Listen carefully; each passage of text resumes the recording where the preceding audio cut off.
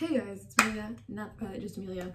So I'm moving out of St. Andrews. This is my final day here. For those of you who don't know, I did a year-long master's program here at University of St. Andrews in Scotland, and I have received so many questions about life here and what the student life is like, what the dorms are like, all of that. So I thought I would just make a video because um, I've received so many questions.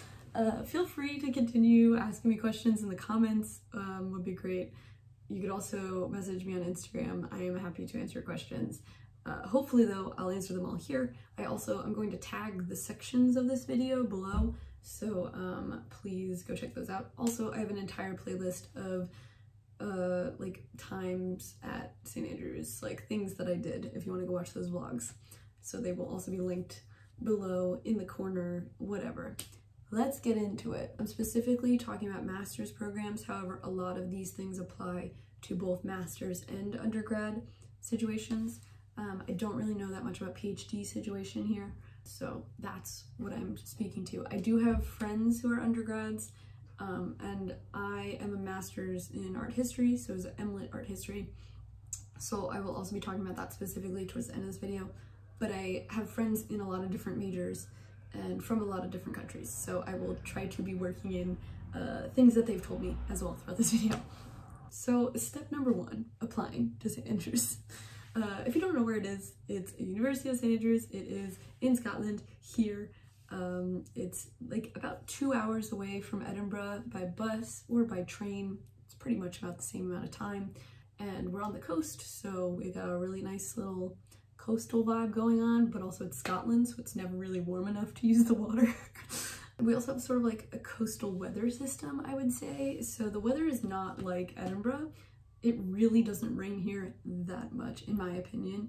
Uh, it rains like a bit in the fall, quite a bit, and there's some days where it literally like pours all day. But for the most part, I would say it just sort of like drizzles every once in a while. Most days are just cloudy. Today, literally it's just gray clouds, and I bet you it's gonna be like this all day. Also, it's very windy here all the time. Um, it's August that I'm filming this video, and today I am wearing jeans and a long sleeve shirt, and I will be wearing a jacket because it is cold. I pretty much have been wearing sweaters all year round. You don't really need shorts here. That's a different video. Maybe I'll get into that later. Application. I applied online. I applied in, I want to say May of 2022. And I had heard back from them by June. So I heard back in about a month. Um, I don't really recommend doing that because I'm pretty positive they hand out most of their scholarships earlier in the year. So you should probably apply in the fall to hear back. Application wise, I applied online. I'm pretty positive it's free. I think you need like three recommendations from letters from people and then you just write like a, a little essay on why you want to get in. Honestly, I still don't really know how I got in. I just sort of applied on a whim. I was working in New York City as a graphic designer, but I really wanted to live in the UK, so I was applying to random postgrad places in the UK. Don't really know why. Um, and I applied to St. Andrews just because I had heard of it in a book, I think. I had read about it, like some character was like, oh, I'm applying to St. Andrews. And they were like, ooh, wow. And I looked it up and I was like, that's pretty, I'd like to go there. So I randomly applied. I think it was free, I don't remember. And then I got in. And then I realized that like, it's a big deal. Like St. Andrews is like pretty much ranked up there with Oxbridge. So Oxford and Cambridge. I didn't know that. So then I was like, okay, well now I feel like I have to go because that's sort of a big deal that I got in. So here we are. Although I will say, I think my essay was pretty bad. So I still don't know how they got in, like how I got in here. Um, if I remember correctly, I uh, applied to the master's program, which is one year. I think all of the master's programs are one year here. And most of the undergrad ones are four years. There's also like a four-year master program you could do as an undergrad. Um, but I had applied to the master's program, but then wrote my essay about the undergraduate master's program. and then I got an email being like, is this what you meant? And I was like, I don't know. and somehow I got in. So thank God I'm here now. It worked out. Once you get in, I will say they really don't give you that much information. There's a, a, very large lack of information in the school in general. I feel like I get too much emails about them coming to flush the water in our dorm, but they never email you about the important things. So here's what I want to say. Right after you get in, you have to accept it within a week, I think it is. And then um, you want to get on like finding a dorm immediately. Uh, the housing problem is really bad here. I'm going to talk about that in a little second. But other things you need to do once you've accepted, I would join the Facebook group and also the WhatsApp group. Um, there's usually one per year and also per like your dorm system. So I'm living in David Russell Apartments, Fife Park. I'm in Monade. Now you get to know where I live because I'm no longer here. But I'm in Monade. Uh, that's the building name. And so I, I joined the DRA group chat and I joined the Facebook group. Um, I don't really use Facebook, so I mostly just use this WhatsApp. And I also followed them on Instagram. I followed all of the St. Andrews pages on Instagram. And that's how you'll find out where all the events are, everything you need to know, that type of stuff. Um, you will get an email about matriculation. You have to matriculate, otherwise they kick you out. So make sure you do that. Um, they will email you about it, but it's like one of the days right before school starts. You need to come here, um, and go to a certain location and that's where you like do your visa stuff. So you'll get your biometric residence permit card. Um, I'm not going to show you that, but it's just like a little ID card that you get when you're studying and living in the UK. So you get that and then they like confirm that you are going to school here. To get a visa, the visa process is a nightmare. It's a mess. I just want to let you know in advance, like prepare yourself uh, I used VSF, I think is what it was called, and I hated it, but it, it worked out, I guess. Basically, you have to go to one of the major cities to go do it. Um, you have to apply online, then you have to schedule an appointment. You go to the appointment, you take pictures and scan your fingerprints, and then you leave. And then uh, hopefully, about a month and a half later, they send you a notification saying you can come pick up your passport and you go in and you get it and then you're good to go. You could go into the UK. Um, at least that's how it is for me. I'm American, coming to the UK, that's how it works. Topic number two, dorms and housing. There is a housing crisis. I don't know if you know this. I think it's pretty common knowledge, but there is. So uh, the dorm situation here sort of sucks. The housing sort of sucks. It's really expensive in St. Andrews. And by really expensive, I mean St. Andrew's pricing is about the same as like city pricing because it is a posh university. Uh, there's the golfing thing is really big right here and it's like a big tourist town. It's the tiniest town you've ever seen, but the housing is crazy expensive. Please be quiet. I would suggest getting a dorm or housing as fast as possible. I applied to dorms as a backup, but then I didn't end up getting housing because housing is very difficult to find.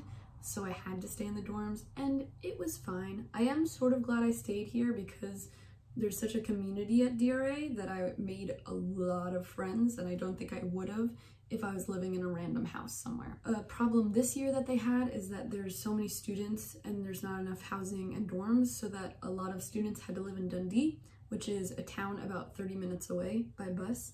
So that sort of sucks. I don't suggest living in Dundee. I don't suggest living in Crail. I suggest trying to live in St. Andrews if you can. Because um, if not, your social life is just, it's going to be rough. Like, you, it's very hard to come to Dundee or come from Dundee, come from Crail to St. Andrews all the time is very difficult. Uh, so I would, if you can, try to live in St. Andrews. I know it's very hard, but that's my suggestion. Um, there's a lot of different housing options uh, specifically for postgrads, there's only three or four buildings, I think, that are postgrads.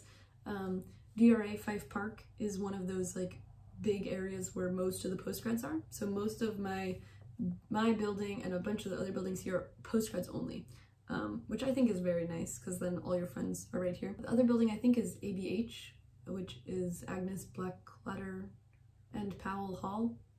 There's a lot of postgrads there. I don't like that building. It looks like a cruise ship. That's all I have to say. I would not live there. I'm glad that I'm here instead. Also, I think one of the other ones is called Dean's Court. That's closer to town, better location. I've never been inside, but I know there's videos on YouTube. There's this one girl, I'm gonna link it down below, it's from a couple years ago, but they went into like every single dorm on campus and like filmed random people's dorms. That was one of the main reasons I was concerned about living in DRA because when they went in the DRA one, it was like disgusting in the kitchen. And I will confirm that most of my friends' kitchens are disgusting because you get placed with random strangers and you have to learn how to live with them. Um, most people are not clean. I got really lucky and all my roommates are normal and also clean, so our kitchen is moderately fine and not moldy like a lot of my friends. Um, also our bathrooms are pretty alright, um, so I got really lucky. But I will say that is a major problem here and I would highly suggest sitting down with your roommates the very first week you guys get here and discussing cleanliness and making a system of who's going to clean when for the bathrooms and the kitchen. In DRA, we share a kitchen living area and also there's two bathrooms between the five of us. So this is my room. Um, I have a bed that's not a double bed. They say it's a double or a full. Um, it's not. It's slightly smaller. Um, so it's basically like a twin, but like slightly larger. and then you have a, a little side table, a desk with a chair, a bookshelf, and then this is the wardrobe and the um, hanging rack for your clothes. So that's, and then you have a window that opens like this, which is very annoying. Um, and then you share a bathroom. Um, the bathrooms are fine. Uh, they get really moldy really easily because the air in Scotland is just sort of damp and cold all the time. So the bathrooms and the kitchen get moldy quite often, so you do have to clean them pretty much every week. Um, but it's fine. I will say I sort of hate the way the school deals with dorms. Um, they come into our dorms a lot, um, and I don't really know why, because you're paying rent, and it's like your landlord is coming in every single week to touch stuff. It's weird. Um, they come in, they ring the fire alarm every single Wednesday at 9 a.m. to test them. I hate that. they also do a fire alarm test uh, once a semester where they make everyone leave the building and they usually do it at 7 a.m. It sucks. I'm just gonna tell you now. Um, they also come into your apartment once a week to test the water to make sure the water is being used or something like that. I don't really know. They also have someone come into the apartment once a month and check that all your doors are still good because the doors are fire doors, so they're really heavy um, and they need to close all the way. So if you're propping your door open or you're doing something with the doors or the windows, then you could get yelled at. Um, I haven't had any problems with that. Uh, the windows also, they only open about two inches. Like they, they open, let's take a bit, they open like this. And so they only open two inches, but you can uh, break the lock and then fix it afterward before they come so that you can open it all the way um, and to get that airflow. Uh, I live on the first floor, so the ground floor, and I absolutely hate it because um, my window basically faces a parking lot, so I have zero privacy. Also, there's a bunch of like plants right outside my window, so the birds like to sit like right there and wake me up at 8 a.m. But also, um, I get bugs so the very first week that I moved here, I was freaking out because I, I don't really feel safe living on the first floor as a woman. I was really nervous someone was gonna break in my window. Maybe that's just my American uh, paranoia. Um, but I was also really worried about bugs and they were like, oh, don't worry, like you're not gonna have a problem. Also, like the UK really doesn't have that many bugs, just like tiny spiders and like little flies. That's a lie. The literal first week I was here, I had a massive spider about this big. I'm not exaggerating. I can show you a picture, but I'm not going to because it would freak you out. Like this big in my room and I had to like call random people until someone came and helped me because I could not do it. Um, and then since then, I bought this like uh, screen that you could buy on Amazon that you like tape onto the window um, I asked the DRA people to pay for it or to do something about the bugs and they said no. And they also told me I wasn't allowed to install this um, screen, but then they haven't said anything yet and they don't know it's there. So do it anyway is what I'm gonna say. Another thing, uh, you're not allowed to put things on your wall. Like you're not allowed to use thumbtack or uh, what is it, push pins or tape things to your wall or anything. Um, everybody does, and I did. You just have to take it down when they do inspections. Another thing, they do inspections every semester. It sucks. Um, basically, they don't want you living here. So your entire apartment has to be absolutely spotless. You can't have any trash in your trash can. Um, all your dishes have to be put away. You basically have to clean it better than what they gave you. Um, it sucks. And a lot of people fail. Uh, famously, my friends failed because they didn't wash under their fridge. which makes me confused. Uh, like, did the inspector move the fridge? I don't know. Uh, they also had to clean their ceiling, apparently. I don't really know. I thought their kitchen looked very clean, but it didn't pass. So they're notoriously very difficult. It's a very stressful time. Um, I had a mental breakdown at that time. It was great. But I emailed the DRA people until they gave up and then they said we passed. So that sucked. I will say if you live in DRA, you're basically on the edge of town. We are a 30 minute walk into town. It sucks.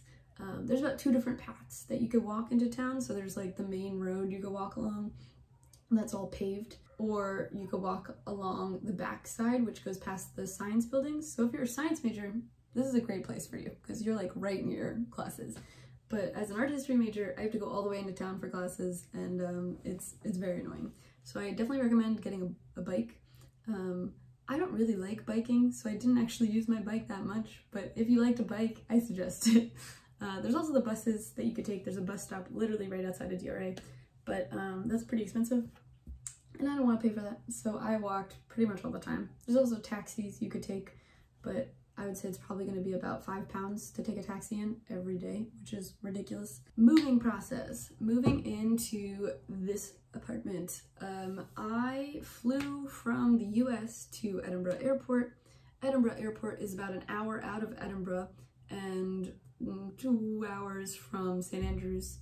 Um, the way I did things was I had two luggages and a backpack so I got to Edinburgh Airport and then I took the bus or the tram, you could take either one, into Edinburgh City. And then I stayed there for a couple days and like hung out and whatever.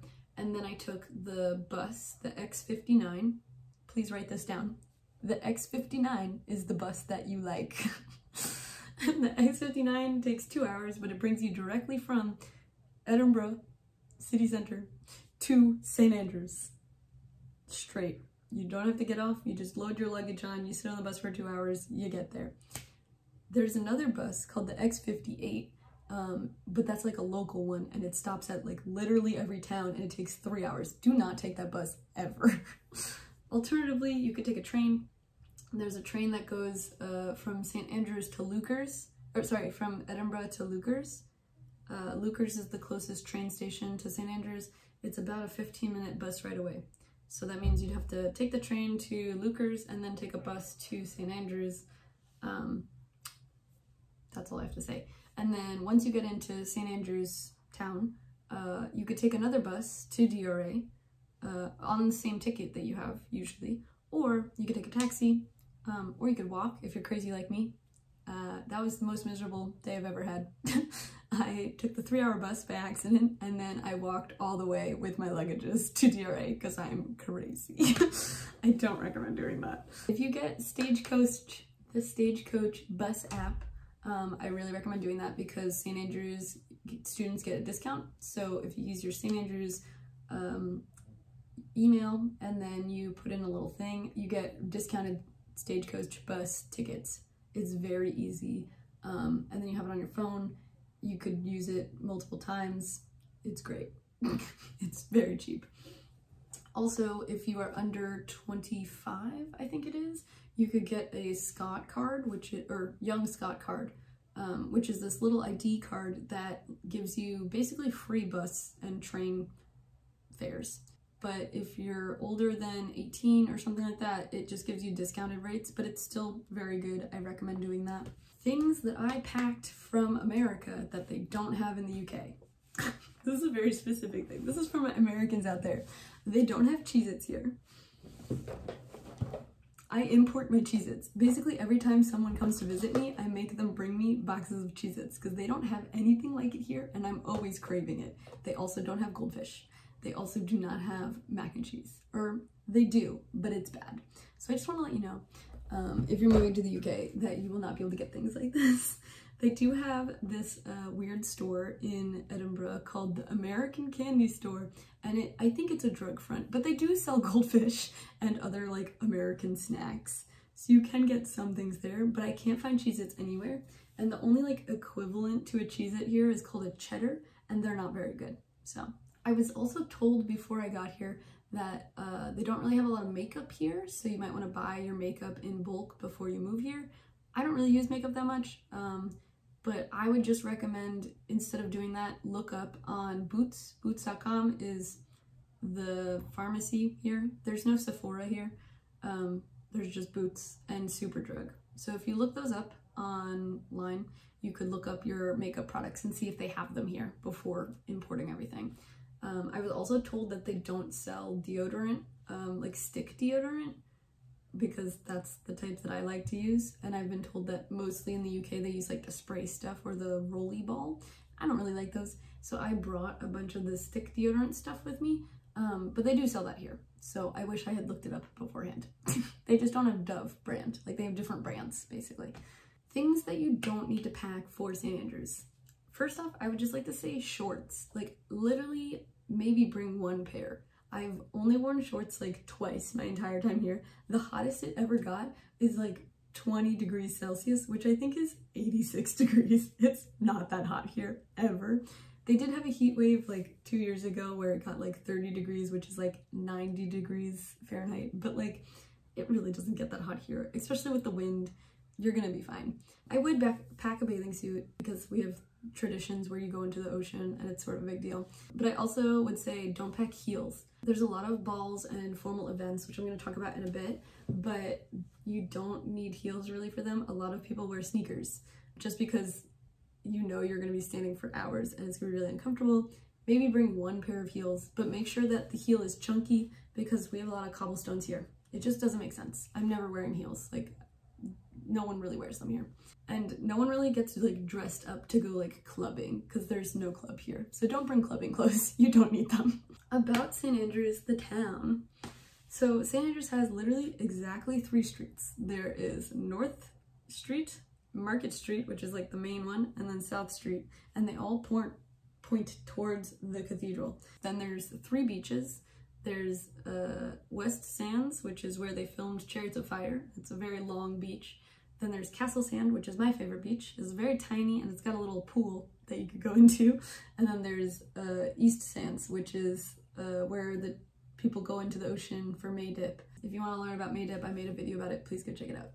East Sands is more of like the swimming beach, the beach where people go surfing. I do this in quotes because there's no real waves on East Sands. You'll see. East Sands is where the pier is as well for Pier Walk. I also made videos about that if you'd like to go watch. The best places to eat, in my opinion, is the Criterion, which is a pub, but they have this thing called cry pies that are amazing. They're so good. It's basically like a pie. Um, so you get like steak and ale, chicken chorizo, mac and cheese, but they're delicious, like absolutely amazing. And there's not that much good food here. I'm just gonna say it. I come from like New York City, like amazing food everywhere you go. Here, it's, a little different. um, I love Criterion. I love the Toasty Shack on East Sands.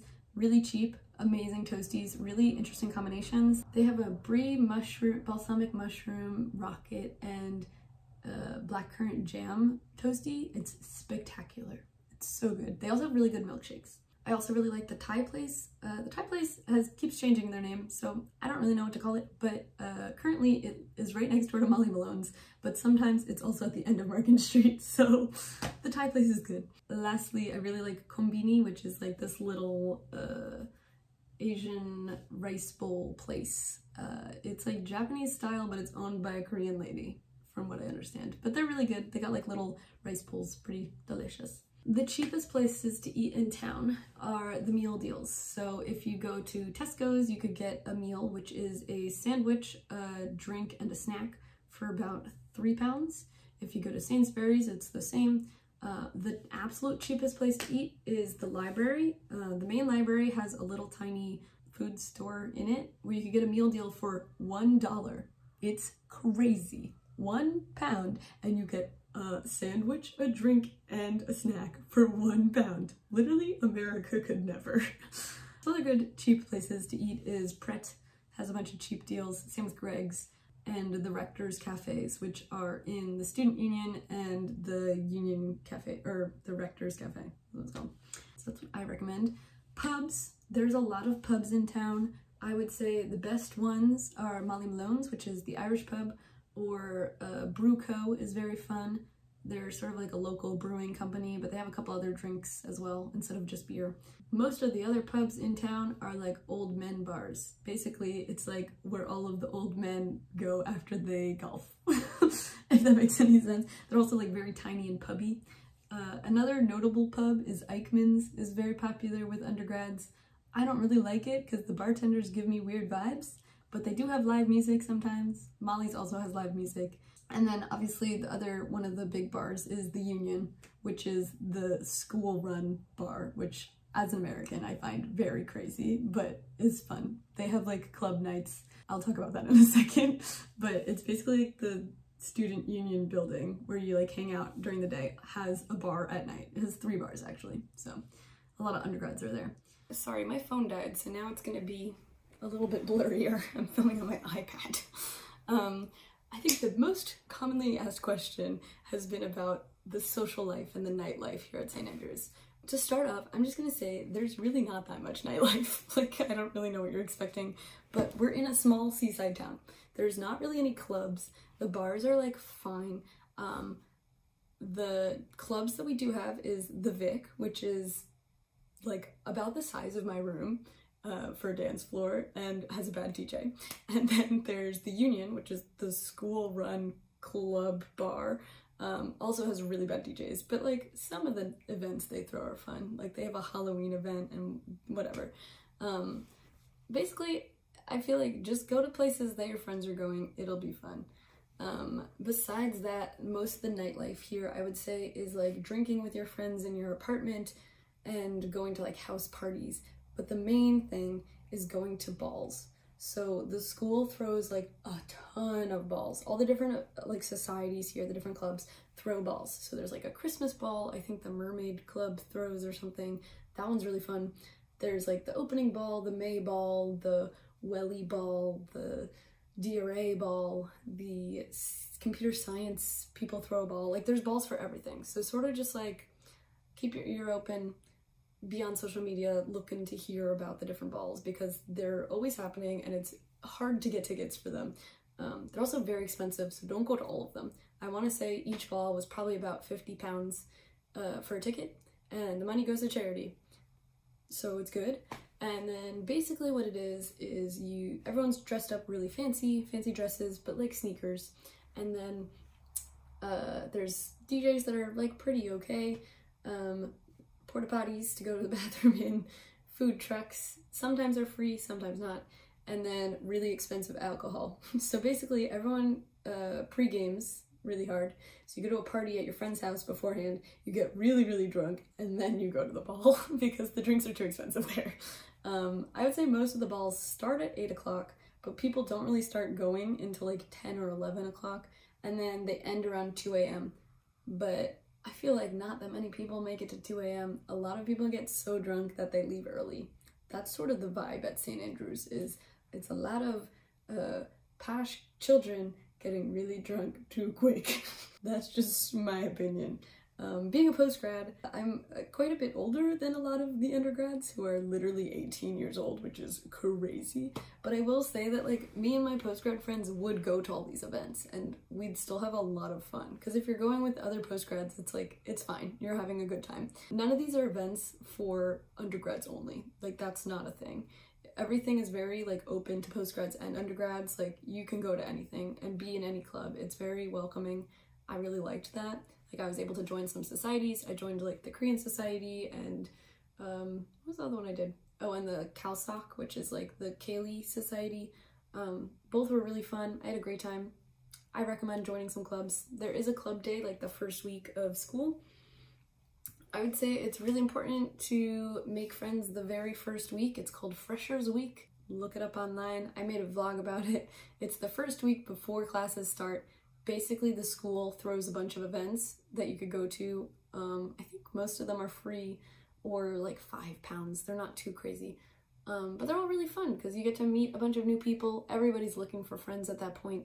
Um, that's basically where I made all my friends. And then you're set for the rest of the year. So it worked out. Uh, but there's like some events that the school runs, and then there's also like other little events. Just go to all of them basically. um, it's called freshers because it's technically for like the first years that are coming to the school, the 18 year olds, to make new friends, but like also all the postgrads go, and most of the school goes to all these events anyway. So don't feel awkward that you're older. Um, it's you're still gonna make friends and you'll find people. The best balls, in my opinion, are the Christmas ball run by the Mermaid Society, which is a theater organization, um, and the Welly ball. I think we're both really, really fun.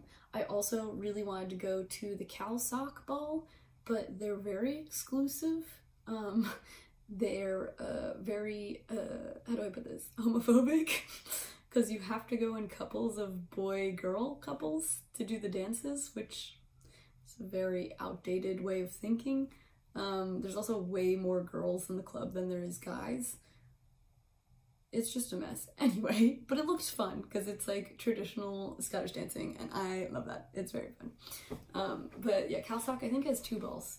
Most of the clubs have a ball in the fall and a ball in the spring. Um, that's just how it works. I went to a lot of balls. I don't really know if I'd recommend doing that because they are expensive and they're basically all the same thing.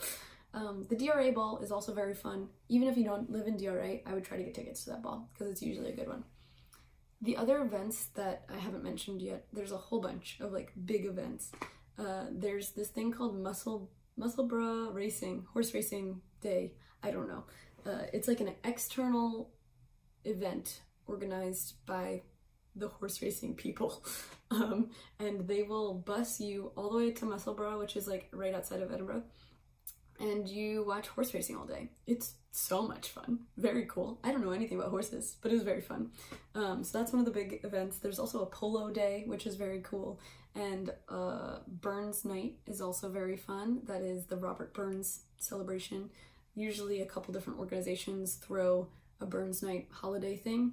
Uh, it's a holiday here in Scotland where you eat haggis, you read Robert Burns poetry together, um, and do Scottish things. I don't know. It's fun.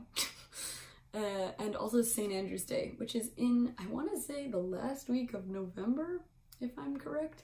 Uh, it's the holiday that celebrates St. Andrews, and St. Andrews Town does a really big festival for it, which is really fun. So I think it starts at like mm, 8 p.m. maybe. Uh, and they close down the entire street. They have live music. There's a ceilidh in the street. Um, and then afterward, there's like a procession with fire torches to the beach, and then there's fireworks. So it's a very fun night. I definitely recommend doing that. Ceilidhs. If you don't know what a ceilidh is, please look it up. Uh, I'll put some links or whatever. Uh, but it's Scottish dancing.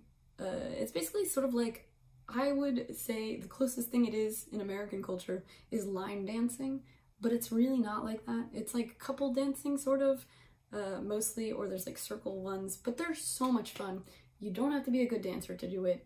You just have to want to have a good time. Most of the dances are just like spinning and like linking arms and whatnot. It's very simple. You'll pick it up really fast. Please go to a ceilidh. Um, they have ceilidhs every Friday and Saturday night at one of the bars in town named Forgan's. I don't really like those that much because it's a lot of like beginners. I like the fancier dances better. Um, so there's the CalSoc, they do them every week. They teach you ceilidhs, ceilidh dancing. Um, but there's a lot of different ceilidh events throughout the year. I would definitely recommend trying to go to some of them. They're just really fun. But uh, if you're nervous about not knowing the dances, it doesn't matter because before they do every dance, they explain how it works and they usually show you how it works. So you just like watch the people do it and then you just try your best. And it's just about having fun and spinning and like doing a dance. I love ceilidhs please go to them. The other thing that I think is uh, very different from American University, uh, I did my undergrad in the US at University of Delaware, so that's what I'm comparing things to. They have societies here, or clubs, whatever you want to call them, um, they all cost money here. So if you want to join any club, you have to pay about five to ten pounds to join the club, and then every time they have an event, you also have to pay for the event. In the US, at my undergrad at least, it was way different. The clubs were usually free, and then the events sometimes costed money, but not really. Um, so that's how the side, clubs work. There's clubs for everything. There's like football, lacrosse, basketball, all different sports. But then there's also like the Ceilidh Club, um, the theater club, Korean club, bird watching. I don't know. There's a whole bunch. They're gonna have a club day at the beginning of the semester. Go to that, see what's around, sign up for everything. Coursework. This is another one I get a lot of questions about. For the master's program, this is all I could really talk to because I don't really know how the undergrad system works too much here. Um, but for the master's program, from what I understand from my experience and my other friends' experience, um, most of it is very self-study. It's heavily self-study. So we only had a couple of hours of classes a week. Um, I had two classes a semester. Um, both of those classes had, I want to say, two hours a week. So in total, I only had four hours of classes a week. so I had a lot of free time. But you don't because you have a lot of lot of reading, assigned reading um, for art history at least, or homework for my other friends. My friends in computer science had a lot of coding to do all the time. Um, but yeah, there's a lot of like external stuff you need to be doing. It's very, uh, you choose what you want to do. Um, I would also say specifically to art history, you don't choose a specific thing. So my master's degree is literally master's in art history, but I specifically am really interested in medieval things and I ended up writing my dissertation on cartography in medieval and early modern era. So that's like my specialty, but we don't have specialties here. Furthermore, there's not a lot of classes to take for master's art history in the specialties. I'm lucky because I'm a medieval person and they have a lot of medieval classes because we're in a medieval town. But some of my friends were studying like contemporary Latinx art. There's not a lot of classes for that here. I don't think there's a single contemporary Latinx class. I don't know. Um, so just consider that, I guess. And then I was sort of doing my own research pretty much all year. I just sort of like doing that. So I basically got a head start on my dissertation, which was a good idea. But a lot of my friends didn't, and so they were really freaking out because the way the post-grad system works is we have two semesters of classes, and then the summer you spend um, working on your dissertation. So you really don't have time during the semester to work on your dissertation too much because you have essays and projects and stuff for class. So semester number one, it's the fall semester. I think it's called Martin Martinmas semester. I don't really know. but it is pretty much from September 12th, like the second week of September, to the first week of December is I think when classes end. So the rest of December is just exams, but as a postgrad student, I didn't have any exams, I just had essays. So I left. and then the same thing in the spring semester. Classes started the like the first week of February, I'm pretty positive, and then ended. I think it ended the first week of April, which I thought was really early. And then they have exams through April and May, but I don't have any exams because I'm a postgrad, right? Some postgrads do. I think computer science has exams, um, but most of us just have essays, so it's pretty nice. Then the dissertation schedule is literally it's different for every single major and every person. It's crazy. I don't think this is a great way that they do this but whatever.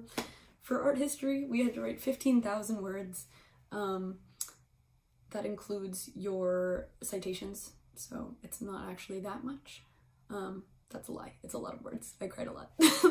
Um, but we really only do it in the summer. So basically i think i started writing in May. So from May until August. My dissertation was due August 15th, which was three days ago. I'm done.